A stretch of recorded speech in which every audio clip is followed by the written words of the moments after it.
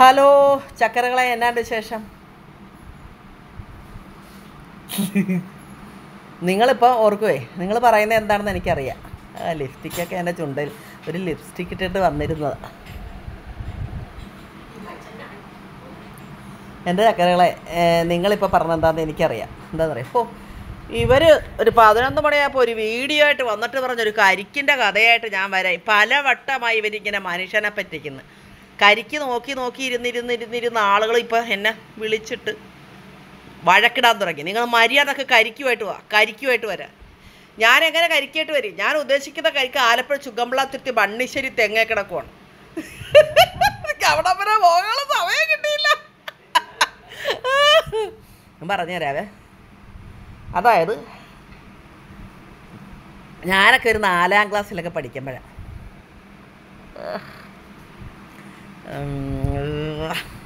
ആയിരത്തി തൊള്ളായിരത്തി എഴുപത്തി അല്ല എഴുപത്തി ഏഴ് എഴുപത്തെട്ടോ കാലഘട്ടമാണെന്ന് തോന്നുന്നു അല്ലേ? അല്ലേടി ജനിക്കാത്ത കുഞ്ഞുങ്ങൾ കാണും ഇതിനകത്ത്. ആ സമയത്ത് എന്റെ അമ്മയുടെ വീട്ടിൽ ആ നാട്ടിലെ ഏറ്റവും കൂടുതൽ സ്ഥലമുള്ളത് എന്റെ അമ്മയുടെ വീട്ടിൽ ഇന്നും അന്നും.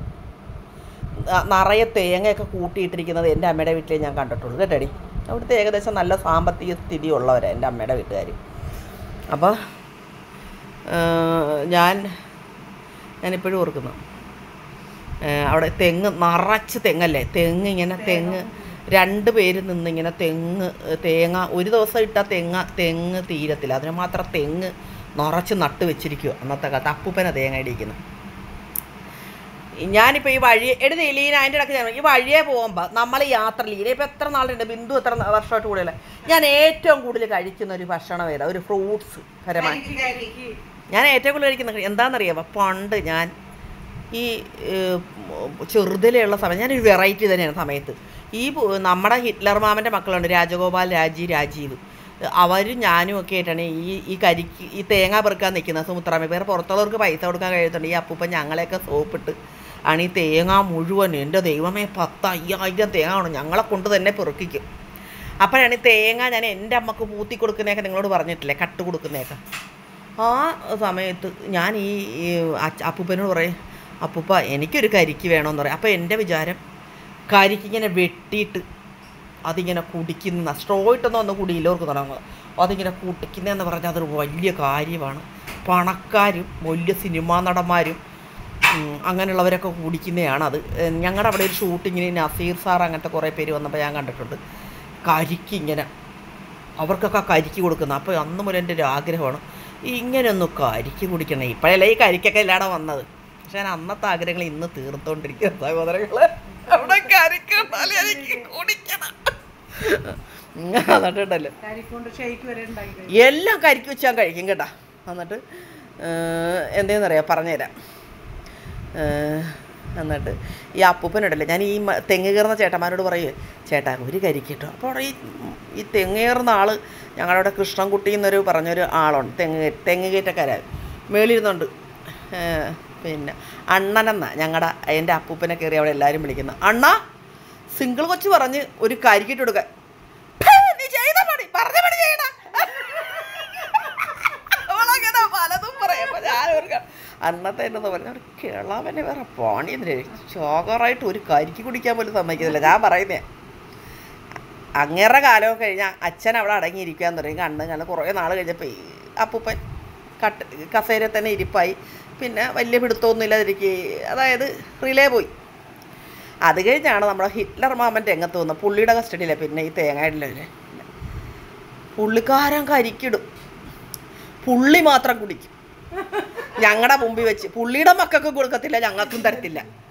എനിക്കും തരത്തില്ല. ഓ അപ്പോഴൊക്കെ ഞാൻ ദൈവമേ എന്നെങ്കിലും പക്ഷേ എന്നെങ്കിലും ഒരിക്കൽ കരിക്ക് വെട്ടി കുടിച്ചിട്ട് തന്നെ കാര്യം. ആ സത്യം. ഇപ്പോൾ ഈ റോഡരികിലൊക്കെ കരിക്കിരിക്കുമ്പോൾ സത്യമായിട്ട് ഞാൻ ഓർക്കും. എന്നിട്ട് ഞാൻ തെങ്ങ് കയറുമ്പോൾ ആ ചേട്ടനോട് പറയാം ചേട്ടാ ആ ഈ അപ്പൂപ്പനോടും മാമനോടും ഒന്നും ചോദിക്കില്ല പ്ലീസ് എനിക്ക് കരിക്ക് പിടിക്കാൻ പറ്റുമോ മതി എനിക്ക് രണ്ട് മൂന്ന് കരിക്ക് തരും. ഇങ്ങനെ എന്തെന്ന് അറിയാമോ? കൊലയോടെ കരിക്ക് വെട്ടിത്തരും.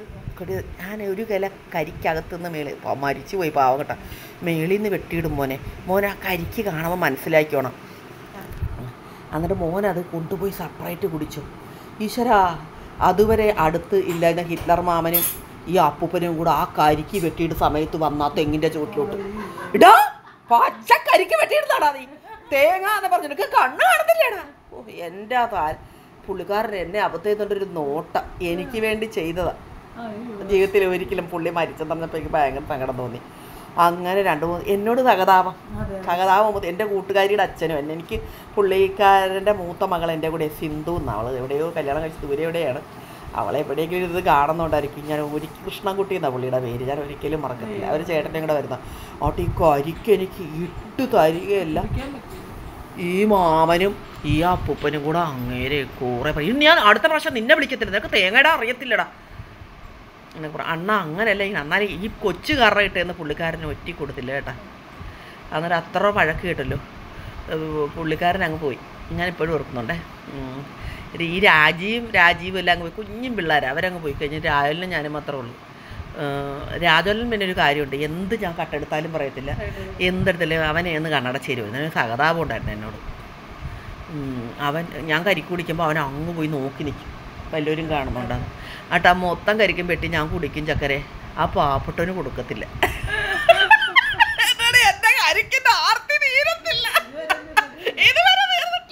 ആ വിലക്കപ്പെട്ട ഭക്ഷണം പോലെ. എന്നിട്ട് അയ്യോ അന്നത്തെ കാർണവന്മാരൊക്കെ എന്ത് സാധനങ്ങളായിരുന്നല്ലേ?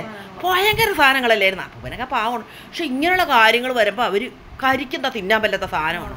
ഉയ്യോ കരിക്കായിട്ട് നിങ്ങൾ ചെന്ന് എല്ലാവരുടെ വീട്ടിലും കണ്ടു ഇതുപോലത്തെ ഒരു മുതുക്ക് സാധനങ്ങൾ അല്ല? എല്ലാ വീടുകളിലും ഉണ്ട്. പണ്ടത്തെ ഗ്രാമത്തിലുള്ള അപ്പൂപ്പന്മാരെയൊക്കെ ചിന്തിച്ചു കരിക്കിട്ട് കരിക്കിട്ട് കളി നശിപ്പിക്കൂ എന്ന് പറഞ്ഞുകൊണ്ട്. ഇന്നിപ്പോൾ കരിക്ക് ബിസിനസ്സാണ് ഞാൻ അതുകൊണ്ടല്ലേ എനിക്ക് അന്നത്തെ കലി ഇന്ന് ഒരു കരിക്ക് ബോവൻ എന്നെ വണ്ടി നിർത്തി വെച്ചത് എനിക്ക് തൃപ്തമല്ല. മോന്തൊന്നും ഇല്ലെന്ന് കാണുമ്പോൾ അവൻ ബോവൻ ഒരു കരിക്കൂടെ മതിയാ മതിയാന്ന് ചോദിക്കും. മോൻ അവിടെ ചെന്ന് ചോദിക്കും വെള്ളം കൂടുതലുള്ള കരിക്ക് ഇതാ വെള്ളം എന്റെ വയറ് നിറഞ്ഞിട്ട് പുള്ളിക്കാരൻ എളുപ്പം അതുകൊണ്ടൊന്ന് പോകണം. പുള്ളിക്ക് കരിക്ക് ഇഷ്ടമല്ല. ഞാനങ്ങനെ അല്ലേ ലീന ഇവിടെ ഞാൻ ലീന വരുന്ന ലീനക്ക് ഞാൻ പൈസ ഗൂഗിൾ പേ. ലീന രണ്ട് മൂന്ന് കരിക്ക് മേടിച്ചു. എന്നിട്ട് ലീന പാത്രത്തിൽ കരിക്ക് ചിരന്റെ കഷ്ണം വേറെ പിന്നെ കരിക്ക് മറ്റേ വാട്ടർ ബോട്ടിൽ പോലത്തെ പാത്രത്തിനകത്ത് കരിക്കിന്റെ വെള്ളവും മേടിച്ചുകൊണ്ട് വരും. എനിക്ക് തുമ്മിയ ഉടനെ ഞാൻ പറയും എനിക്ക് കരിക്ക് കുടിച്ചാൽ ഇപ്പോൾ അസുഖം മാറുമെന്ന് പറയും. പോകാനോ അറിയാതുകൊണ്ട് എപ്പോഴും കരിക്ക് മേടിച്ചോണ്ട് വരും. ഒരു പക്ഷെ അതായിരിക്കും എന്റെ ഒരു എനർജി എന്ന് എനിക്ക് തോന്നുന്നു അല്ലേ? ഞാൻ തുമ്മിയ പോകുമ്പോൾ കരിക്ക് മേടിച്ചോണ്ട് വരും. ആ കരിക്ക് കിട്ടിയ ഉടനെ എന്റെ വിചാരം എന്താ പറയുക എന്നോട് സ്നേഹമുള്ളതുകൊണ്ട് കരിക്ക് കൊണ്ടു തന്നു നിങ്ങളും എനിക്ക് കരിക്ക് തന്നാൽ ഞാൻ നിങ്ങളെ വളരെ അഗാധമായി സ്നേഹിക്കും. എന്ത് പറയാം എനിക്ക് ആരും കൊണ്ടുവരാം കരിക്കെന്ന്. അപ്പോൾ എന്റെ വിചാരം അപ്പോൾ സിനിമ നടി നടന്മാർ വലിയ വലിയ പണക്കാർ സായിപ്പന്മാർ അവർക്ക് കുടിക്കാൻ വേണ്ടി ഉണ്ടാക്കിയതാണ് ഈ കരിക്ക്. കേരളത്തിൽ കിടക്കുന്ന നമ്മുടെ കേരത്തിന്റെ നാട്ടിൽ കിടക്കുന്ന നമുക്കൊരു കരിക്ക് കുടിക്കാൻ പറ്റത്തില്ലെന്ന്. ഇത്ര പത്തയ്യായിരം തേങ്ങ വെട്ടുന്ന വീട്ടിൽ കരിക്ക് കുടിക്കാൻ പറ്റത്തില്ലെന്ന്. എന്നാൽ ഒളിച്ചും പാത്തും വേണം കരിക്ക് കുടിക്കാൻ.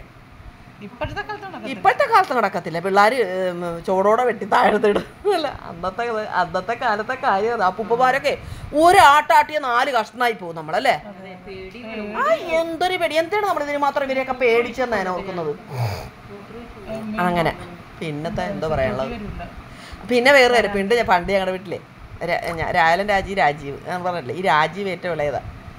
എഴുന്നേറ്റ ഉടനെ ഇവന് പഴങ്കഞ്ഞിയും വേണം. പല്ല് തേക്കുന്നതിന് വേണം പഴങ്കഞ്ഞിയും ചമ്മന്തിയും വേണം. തലേ ദിവസം തന്നെ ഉണ്ടാക്കി വെച്ചിരിക്കണേ. പഴങ്കഞ്ഞി കഞ്ഞി ഉണ്ട- ഉണ്ടാക്കി വെച്ചേക്കും. ചമ്മന്തി ഇട്ട് വെച്ചേക്കും അവിടെ. അമ്മായി അരച്ച് വെച്ചേക്കും. ആ ഇന്നലെ അരച്ച ചമ്മന്തിക്ക് ഇന്ന് രാവിലെ കൂട്ടാ അതൊരു വളിപ്പ് കൂടിയ ഒരു നല്ല രുചിയാണ് അല്ലേ? ഈ ചമ്മന്തിയുടെ രുചി എനിക്ക് അമ്മായി എന്റെ ഈ മാമന്റെ ഹിറ്റ്ലർ മാമന്റെ ഭാര്യ എന്ത് കറി വെച്ചാലും ഭയങ്കര രുചിയായിരുന്നു. പുള്ളിക്കാരി ഓവറായി വലിച്ചു വാരി വെക്കത്തില്ല. പക്ഷേ ഒരു ഒരു മൂന്നാലഞ്ച് കറി വെച്ച് കളയും. ചോറിന്.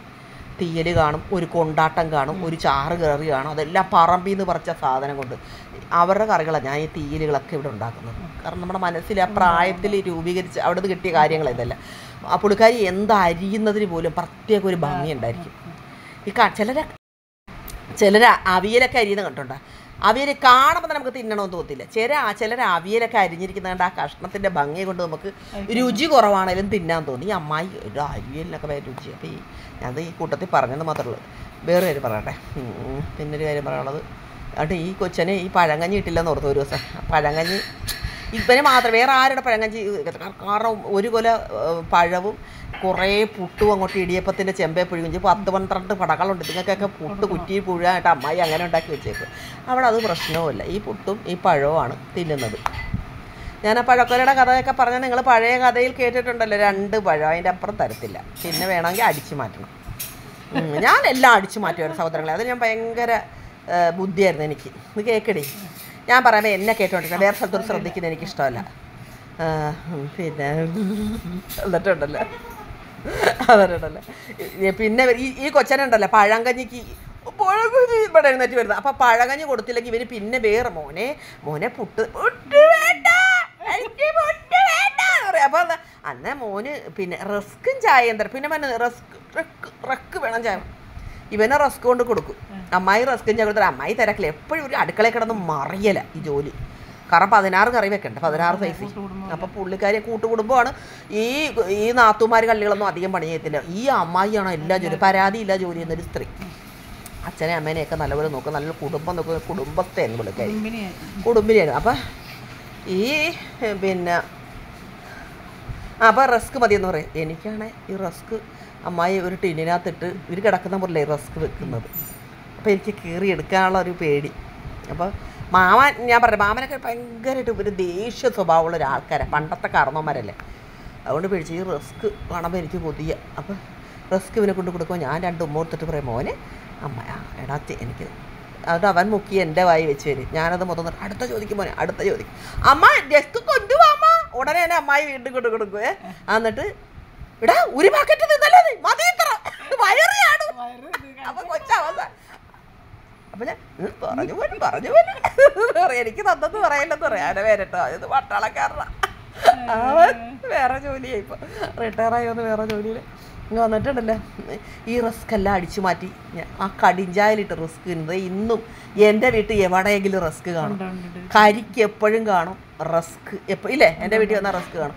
എന്താണെന്നറിയാം ആ റിസ്ക് കാണുമ്പോൾ ഏത് ബേക്കറി ചെന്നാലും എനിക്ക് ആ റിസ്ക് ഇട്ട് പോയി. പിന്നെ എനിക്ക് ആ റിസ്ക് ഒന്നും എടുത്തു വെക്കാതെ എന്റെ പൂർണത പൂർണത ആ കംപ്ലീറ്റ് സാധനം പൂർണതയാണെങ്കിൽ ആ റിസ്ക് കണ്ണിപ്പെട്ടു പോയി. അവനെ അടിച്ചുകൊണ്ട് പോരണം. ആ റിസ്ക് ഞാൻ മേടിച്ചു വെക്കും. അങ്ങനെ അറിയാവാ? അപ്പോൾ ഈ കരിക്കിന്റെ കഥ ഇതായാലും വലിയ മോഷണ കഥയൊന്നുമല്ല. ഞാൻ എന്റെ കൃഷ്ണൻകുട്ടി ചേട്ടൻ ഞാൻ അന്നേരം ഒന്ന് ഓർത്ത് പോയി. പാവം പിടിച്ചവൻ എനിക്ക് കരിക്ക് വെട്ടി താഴ് നിലത്തിട്ടപ്പോൾ ഈ അപ്പൂപ്പനും അച്ഛനും ആ സമയത്ത് തന്നെ കണ്ണിപ്പെട്ട് കുറേ ചീത്ത വിളിച്ചിടാ പാവത്തിന്. ഇനി നിന്നെ വെക്കുന്ന അടുത്ത ആഴ്ച അടുത്ത പ്രാവശ്യം തേങ്ങയുടെ നിനക്ക് തേങ്ങ ഇടാറത്തില്ല കരിക്കാണ് നീ തേങ്ങ വേണ്ടി വെട്ടിയിടുന്നത്. പക്ഷേ എനിക്ക് വെട്ടിയിട്ട് തന്നതായിരുന്നു. മറക്കാൻ പറ്റില്ലേ പിന്നെ ഇവരത് എല്ലാം തെറിയെല്ലാം പറഞ്ഞിട്ട് ഇവരങ്ങ് പോയി കുറേയല്ലേ? ആ കരിക്ക് മൊത്തം പുള്ളിക്കാരൻ എനിക്ക് വെട്ടിത്തന്നു. നീ എന്ത് പറഞ്ഞാലും ശരി അടുത്ത പ്രാവശ്യം എന്നെ തേങ്ങയിടാൻ വിളിക്കത്തില്ല. ആര് ആര് തേങ്ങയിടാൻ വരാൻ ഇവരുടെയൊക്കെ ക്യാരക്ടർ പുള്ളിയെ തന്നെ വിളിച്ച്. എന്നിട്ട് പുള്ളിക്കാരൻ എനിക്ക് ആ കരിക്കെല്ലാം വെട്ടിയിട്ട് തന്നു. രാജഗോപാലൻ അങ്ങ് പോയി നോക്കി നിൽക്കും പാവ കുഞ്ഞാണവൻ. അവൻ അവിടെ പോയി നോക്കി നിൽക്കും ആരെങ്കിലും വരുന്നുണ്ടാന്ന്. പക്ഷെ ഞാൻ കരിക്ക് കുടിക്കാനാണെന്ന് അവനോട് പറഞ്ഞില്ല. എടാ നീ അവിടെ പോയി നിൽക്കി തേങ്ങ രണ്ട് കൊണ്ട് എന്റെ അമ്മയ്ക്ക് അടിച്ചു മാറ്റാനാണ്. നീ ഒന്ന് പോയി നോക്കി നിൽക്കുക എന്ന് പറഞ്ഞിട്ട് ഈ കരിക്ക് ഞാൻ കുടിക്കുക ഞാൻ ഒരിക്കലും സമയത്ത് രായലിനെ ഓർക്കുന്നു. ചക്കരകളെ ഇതൊക്കെ ഈ കാലഘട്ടത്തിൽ ഇങ്ങനെ ഒരു കഥയായി പറയു പറയേണ്ടി വരുമെന്ന് ഞാൻ ഒരിക്കലും ഓർത്തല്ല അങ്ങനെ കരിക്കെന്ന് പറഞ്ഞ സാധനം എന്റെ മനസ്സിലൊരു വി വി ഐ പി സാധനം. ഓരോരോ പ്രശ്നം നിങ്ങൾ സംസാരിക്കുമ്പോൾ പലതും ഓർത്ത് വരുമ്പോൾ ഇതിനകത്ത് കോൾ വരുമ്പോൾ ഇത് കട്ടായി പോകുന്നു ചക്കരകളെ. ഈ ഫോൺ സൈലന്റ് ആക്കി കോൾ വരാത്ത വിധത്തിൽ ഫ്ലൈറ്റ് മോഡിൽ ഇട്ടിട്ട് പിടിച്ചാൽ മതിയായിരുന്നു. അതുകൊണ്ട് എന്റെ ചിലപ്പോൾ നമ്മൾ സംസാരിക്കുമ്പോൾ ഓളം പോകും. ആ കാ ആ ഞാനങ്ങനെ പറയാം ഒരു കാര്യത്തിൽ ഇങ്ങനെ ചിന്തിച്ചുകൊണ്ടിരിക്കുമ്പോൾ ആ കാര്യം സംസാരിച്ചുകൊണ്ടിരിക്കുമ്പോൾ വേറൊരു കാര്യം വന്നാൽ പെട്ടെന്ന് ഞാൻ പറഞ്ഞുകൊണ്ട് വന്നിരുന്ന വലിയ തമാശയിൽ നല്ല കഥ ഓർത്ത് വരുമായിരിക്കും അപ്പോൾ ആ പോയിന്റ് അവിടെ പോകും. അതെ. ചിലപ്പോൾ ഞാൻ വീഡിയോ ഇതിനകത്ത് ഫോൺ ചെയ്യുമ്പോൾ ചിലരൊക്കെ കട്ട് ചെയ്ത് കളയണേ എന്റെ സാഹചര്യം കൊണ്ട് കട്ട് കട്ട് ചെയ്യുന്ന കളയാണ് അപ്പോൾ ചിലപ്പോൾ വീഡിയോ എടുക്കുമായിരിക്കും ചിലപ്പോൾ ആരെങ്കിലും ഇവിടെ കാണും. ചിലപ്പോൾ എന്തെങ്കിലും ഒരു സാഹചര്യം. ബോബന് പോകാനുള്ളപ്പോൾ ഫോൺ എടുക്കുന്നതേ ഇഷ്ടമല്ല. അപൂർവം ചിലത് ഒന്നോ രണ്ടൊക്കെ ബോസ് ചുമ്മാ ചുമ്മാ ഫോൺ എടുക്കുവാണോ നിങ്ങൾക്ക് എന്ന് പറയും. അതുകൊണ്ട് ഞാൻ അങ്ങനെ ചിലപ്പോൾ എടുക്കത്തില്ല. മനസ്സിലായി? ഞായറാഴ്ചയിലൊക്കെ കാണാൻ വന്ന കാണാൻ എന്ന് പറഞ്ഞാൽ ബോബന്റെ ദിവസമാണ് ഞായറാഴ്ച. ഞാൻ ബോബന്റെ മാത്രം. എനിക്ക് ബോബനും ബോബനും ഞാനും മാത്രമുള്ള അപ്പോൾ ആ ദിവസം ഇവിടെ ഞാൻ ആരെങ്കിലും ഇനിയും വരുത്തില്ല ബിന്ദു വരുത്തില്ല താമര വരുത്തില്ല ഇവിടെ ആരെയും വരത്തില്ല ഞങ്ങൾ രണ്ടും മാത്രമായിരിക്കും. കേട്ടാ? അങ്ങനെ സന്തോഷമായിട്ട് നമുക്ക് കരിക്കിന്റെ കഥ കേട്ടല്ലോ.